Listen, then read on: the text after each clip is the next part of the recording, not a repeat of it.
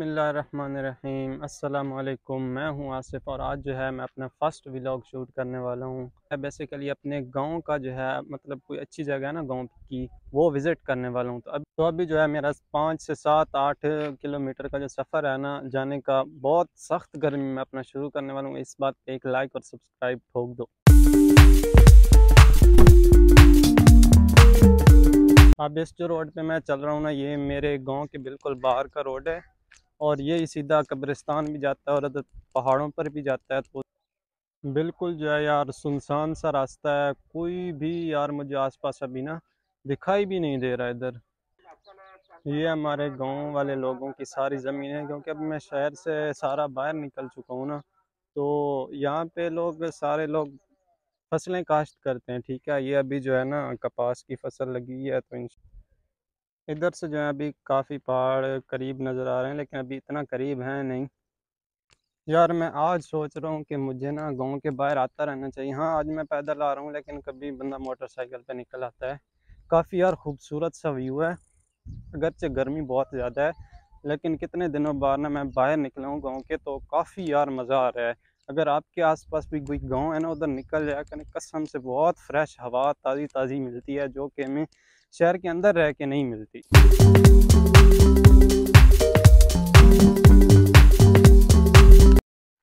قبرستان کے اندر اندر کا راستہ اور کافی پتھریلا ہے اور ابھی پہاڑ جو ہیں کافی دور ابھی جو ہے میں کافی پہاڑوں کے جو ہے نا وہ قریب پہنچ چکا ہوں۔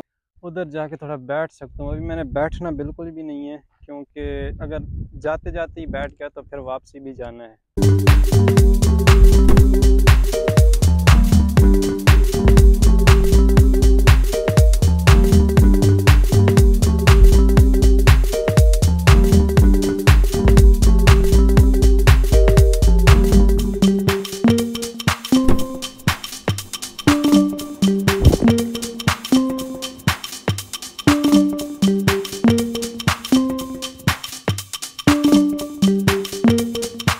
ابھی جو ہے نا بالکل میں پہاڑوں کے درمیان میں پہنچ چکا ہوں۔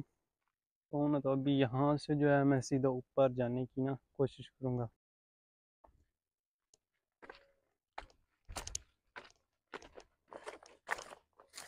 موبائل پہ زیادہ دھیان نہیں دینا، چڑھائی پہ زیادہ دھیان دینا پڑے گا کیونکہ پتہ نہیں چلتا کوئی بھی اگر پھسلن ہو گئی نا۔ ادھر سے چڑھنے کا کوئی راستہ نہیں بنا ہوا۔ اوپر چڑھتے چڑھتے سانس تو بہت چڑھ گیا۔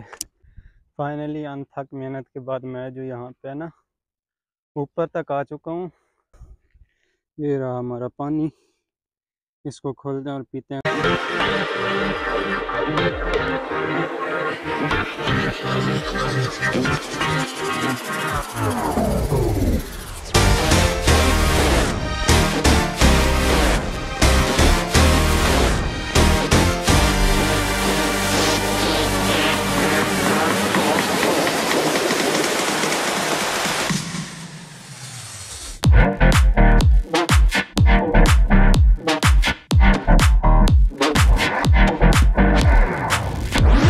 میں نے ادھر سوچا بھی نہیں تھا کہ مجھے جو اپنے گاؤں کے پہاڑوں پہ نا اتنا مزہ آنے والا ہے۔ قسم سے اتنا بڑھیا ویو ہے ادھر سے۔ میں سوچ بھی نہیں سکتا، ابھی میں تھوڑا سا اور اوپر جاتا ہوں۔ ادھر سے جو ویو ملتا ہے نا، وہ کافی کمال کا ہے۔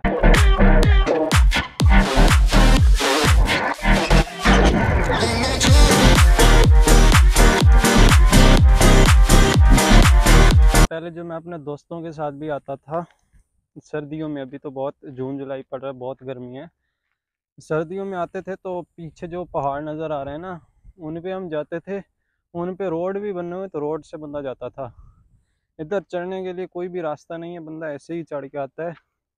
نہ ادھر جہاں پہ میں کھڑا ہوں، نہ یہاں پہ کوئی راستہ ہے۔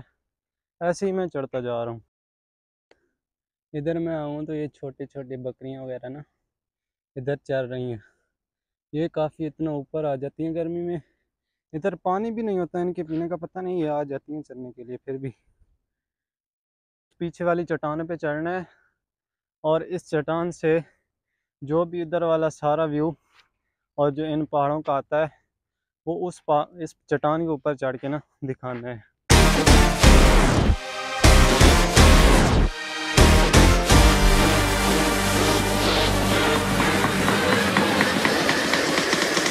یار، یہاں پہ نا، جہاں پہ میں چڑھا ہوں، ادھر سے بھی یہ کالی کالی مٹی ہے نا۔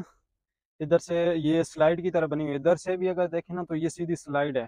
ادھر سے دیکھا جائے یہ بھی سیدھی سلائیڈ ہے۔ اگر یہاں پہ سیدھا احتیاط سے نہ چلا جائے نا تو بندہ گرنے کے بہت چانس ہوتے ہیں۔ ادھر سے جو ہے، نیچے اترتے اترتے نا بریک بندے کی فیل ہو جاتی ہیں۔ کہ میری بریک کے بھی نہیں لگ رہی۔ یہ ادھر سے سارا نا مٹی کی طرح کالی کالی مٹی ہے۔ یہاں آنے کے بعد سب سے جو ضروری چیز ایکسپلین کرنی ہے نا، وہ یہ جو میرے پیچھے آپ کو نا سفید سا کمرہ نظر آ رہا ہے نا، اس کے بارے میں نے اپنے شہر والوں کو بتانا ہے کہ یہ اصل میں ہے کیا۔ تو یہ والی جو کنفیوژن ہے نا، وہ میں ان کی دور کر دیتا ہوں، کیونکہ یہ اس لیے بنائی گئی ہے کہ یہاں پہ دو قبریں ہیں، ان لوگوں کی جو یہاں پہ شہید ہو گئے تھے، ٹھیک ہے پلین کریش ہونے کی وجہ سے۔ ان قبروں کو یہاں پہ دکھانے کے لیے۔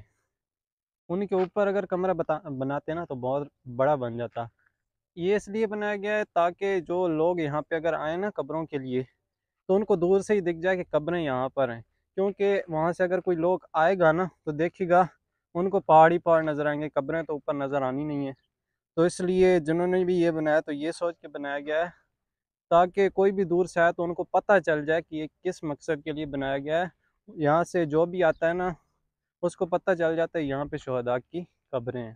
یار، آج کا جو میں ولاگ ہے، یہاں پہ اینڈ کرتا ہوں۔